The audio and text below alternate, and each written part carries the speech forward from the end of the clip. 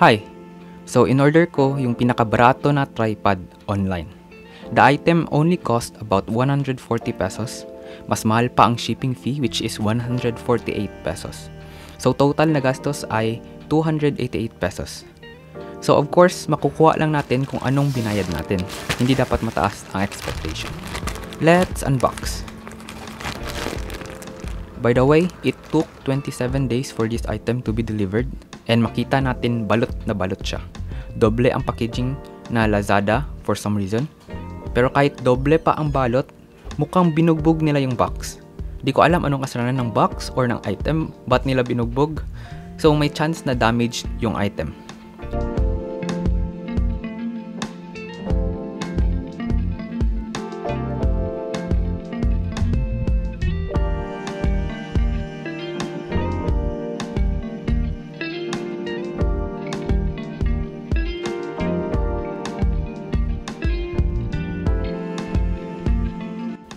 The packaging so far and delivery is really really bad.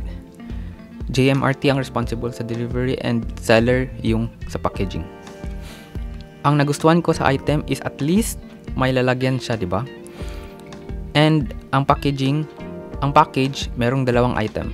Yung tripod itself at yung lalagyan para sa phone kung phone gamit nyo pang film. By the way, Oppo A3s yung phone ko and masikip na yung lalagyan niya para sa phone. So kung mas malaki pa sa 7.6 cm yung lapad ng phone nyo, baka hindi na magkasya sa phone frame nila. So, about sa material, I'm confident na it's not durable or hindi siya tatagal. Lalo na yung lock sa mga paa, feel ko masira ko agad. Hindi talaga siya matibay or hindi talaga matibay yung plastic na ginamit nila. Yung maki- yung makita nyo na grayish na color ay manipis na aluminum.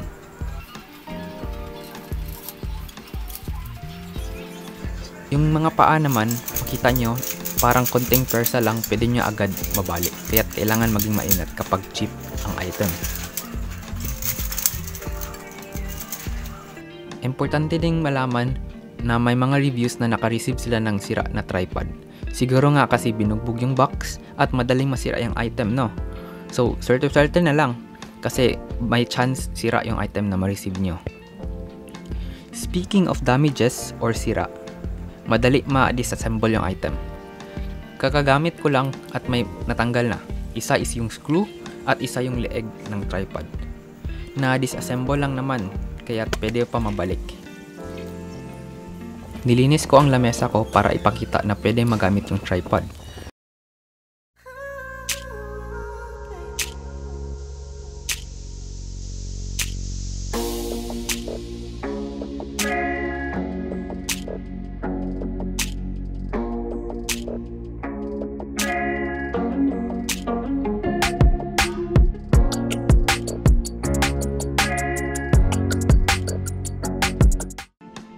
Nakakatayo at stable naman siya. Ang pangit lang is yung panning left-right, hindi siya smooth. So if mahilig kayo sa horizontal panning, wag na. Wag. Wag. Wag. Wag. Wag. Wag. Yung vertical panning naman is matigas.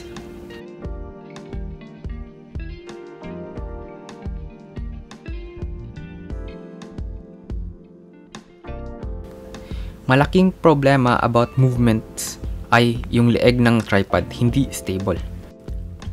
About sa height, pinakataas niya na point ng tripod kapag nakatayo ay 108 cm. Meron din siya nung fluid head para malaman nyo kung naka-level ba ang tripod.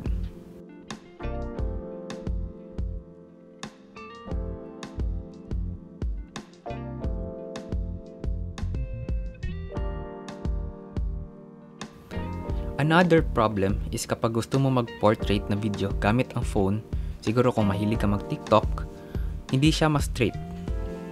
Yung bigat ng phone nyo is enough na para mag-slant yung orientation. Well, at least kapag horizontal, na, okay naman siya. Straight at nakakasupport ng bigat. Buod ng aking masasabi ay may risk na sira ang item matanggap nyo or masira nyo agad ang item. Hindi siya durable. makukuha nyo kung anong binayad nyo. So, this is a very cheap tripod. Huwag masyadong mag-expect. Hindi siya masyadong stable kapag ginagalaw-galaw nyo ang camera habang nag-film. So, if seryoso kayo uh, sa filming, maraming movements, hindi siya recommendable. Pero kung simple lang ang naman ang film nyo, maaari itong magamit.